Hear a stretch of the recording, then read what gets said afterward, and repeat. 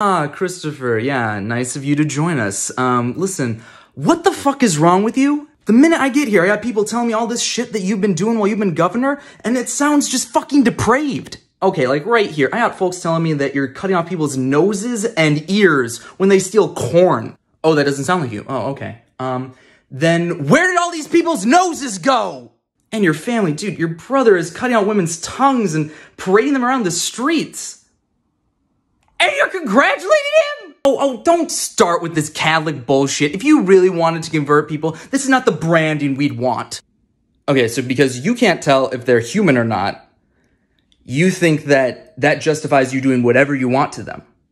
No, Chris, I need you to know that that argument does not make you the good guy that you think it does, okay? If you went to another continent and then raped and murdered a bunch of mermaids, you'd still be a fucking asshole. What?